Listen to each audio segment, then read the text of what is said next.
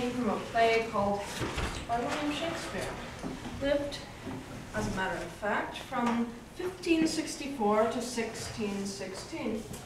So the Middle English, or whatever they call it, is a bit hard to understand. Apologies. The play is a tragedy about family pressures, rejected love, madness, and procrastination. Hamlet is the Prince of Denmark. Hamlet suspects his father, the king, was murdered, because as soon as he died, Hamlet's uncle married the queen, Hamlet's mom, and took over the throne.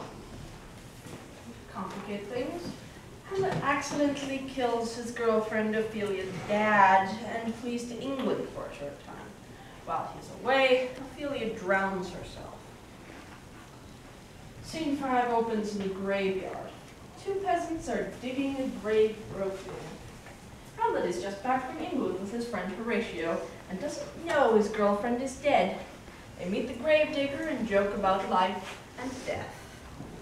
These scenes are comic relief, lightening the tension before Hamlet realizes that Ophelia is dead, which drives him over the edge to kill everyone and himself. And, without further ado, Should to be buried in Christian burial that willfully seeks her own salvation? I tell thee she is, and therefore make her grave straight. The crowner hath sat on her, and finds it Christian burial. How could that be, unless she drowned herself in her own self-defence? Why, 'tis found so. It must be, say, a fondando. Can it be else? Well, here's always the point. If I drown myself wittingly, it argues an act, and an act hath three branches. It is to act, to do, and to perform. There she drowned herself wittingly. Nay, but here you, Goodman Delver. Give me leave. It lies the water, good.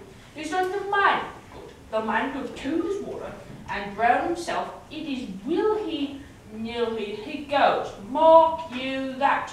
But if the water come to him and drown him, he drowns not himself. Ergo, he is, he's not guilty of his own death, shortens not his own life.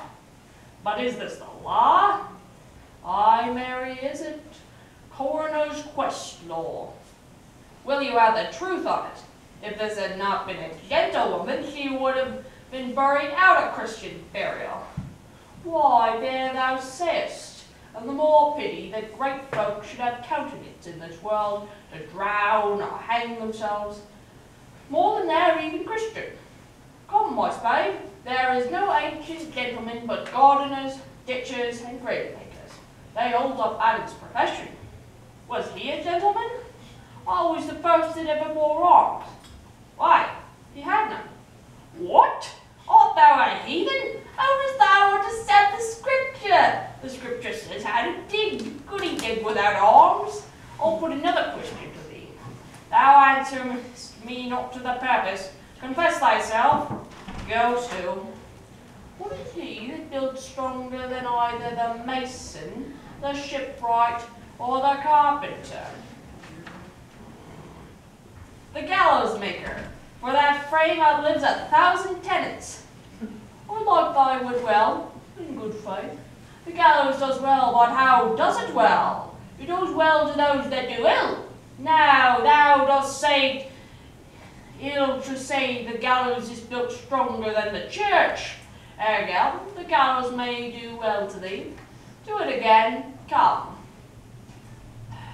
Who builds stronger than a mason, a shipwright, or a carpenter? Ah, tell me that, and unyoke. Very, now I can tell. To it, mass, I cannot tell. We now see Hamlet and Horatio approaching at a distance. Could your brains know more about it, for your dull ass will not mend his face with beating. And when you are asked this question next, say, a grave maker. The houses that he makes last till doomsday. Go, get thee to. Fetch me a stoop of liquor. The first clown now goes to dig somewhere else while singing. And you, when I did know, did know me, thought was very sweet. Oh, try to the time for a maybe alone, thought was nothing of me. La la la la, greeting song, la la la la la la.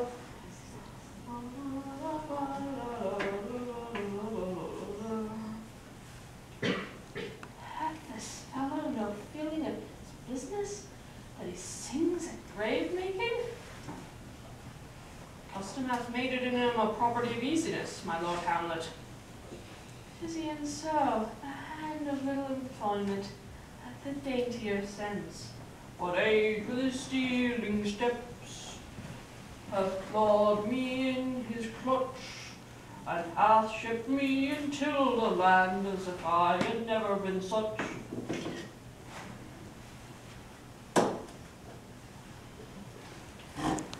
That skull had a tongue in it, and could sing once. Oh, the knave jowls it to the ground, as if it were Cain's jawbone that did the first murder. It might be the pate of a politician which this ass now overreaches, one that would circumvent God, might it not?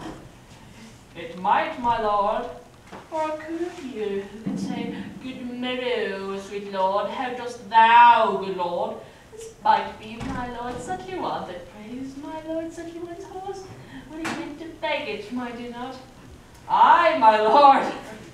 Why, even so. And now my lady worm, captain. And here's a thought. Knocked around the mazzard sexton's spade. Here's a fine revolution. We had the trick to see it. Did these bones cost no more the breeding, but to play at loggets with them? Mine ache to think on it. A pickaxe and a spade, a spade, or and a shrouding sheet, or a pit of clay for to be made for the tragus to meet. There's another! Why not that be the skull of a lawyer? Where be his quiddies now, his quillets, his cases, his tenures, and his tricks? Why does he suffer this rude knave now to knock him a, a sconce with a dirty shovel? And will not tell him in this action of battery? Oh, this fellow might be in a great buyer of land, with statutes, with recognizances, his fines, his double vouchers, his recoveries, the fine of his fines and the recovery of his recoveries, to of his fine plate full of fine dirt. Will his vouchers vouch him no more of his purchases, and double ones too, than the length and breadth of a pair of indentures? The very conveyances of his lands will hardly lie in this box, and must the inheritor himself have no more? Ah, not a jot more, my lord. Is not parchment made of sheepskins? Aye, my lord, and of calfskins too. They are sheep and calves that seek out assurance in that. I will speak to this fellow.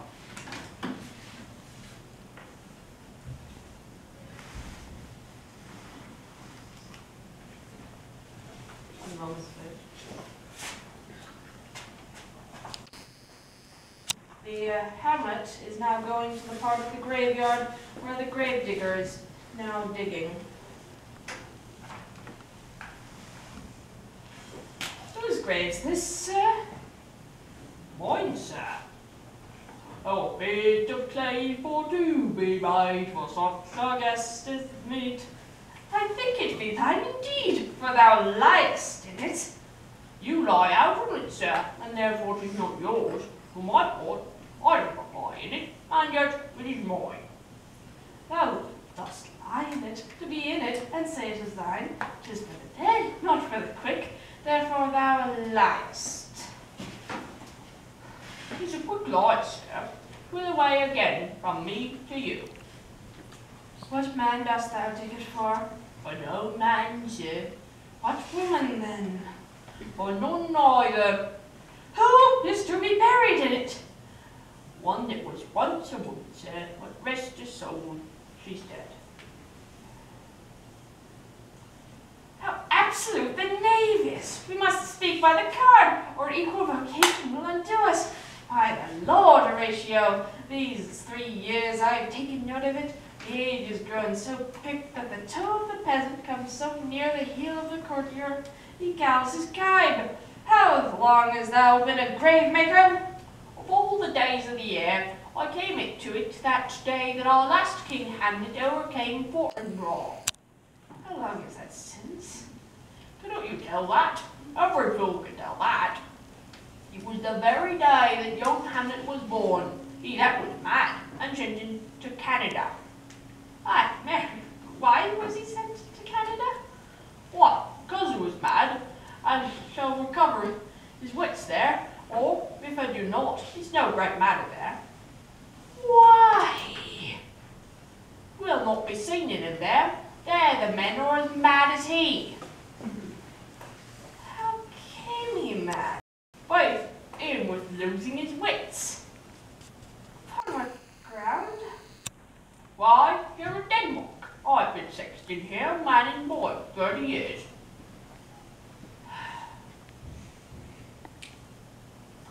How long will a man lie in the earth ere he rot? Faith, if I be not rotten before I die, as we have many nowadays, that will scarce hold the nail. He will last you some eight year or nine year. A tanner will last you nine year. Why, he more than another. Sir, his hand mind is so tanned with his trade that I will keep out water a great while, and your water is a sore decayer of your dead body. Here's the skull now. This skull has lain in the air three and twenty years. Whose was it? A Washington mad fellows was. Who do you think it was? I know not. Nay, a pistol is on him for a mad rogue. I bought a flagon of Roylish on my head once. This same skull was Yorick's skull, the king's jester. This? You're not. Let me see. Alas, uh, alas, poor York. I knew him, Horatio. A fellow of infinite jest, of most excellent fancy. He hath borne me on his back a thousand times, and now how abhorred in my imagination it is. My gorge rises at it. Here hung those lips that I kissed I know not how oft. Where be your jibes now, your gambols, your songs, your flashes of merriment were wont to set the table on a roar?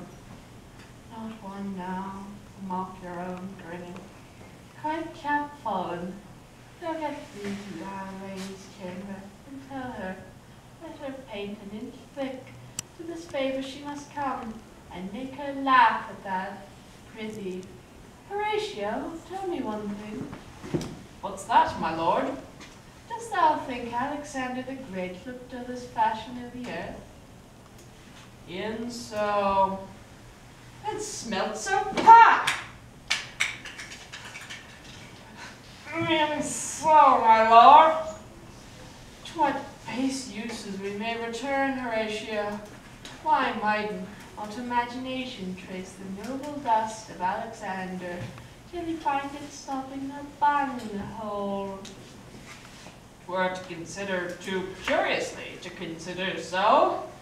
No, faith, not a jot, but to follow him thither with modesty enough, and likely to delete it, as thus Alexander died, Alexander was buried, Alexander returned to dust, the dust is earth, of earth we make loam, and why of that loam? Whereto he was converted, might they stop a beer barrel? Imperious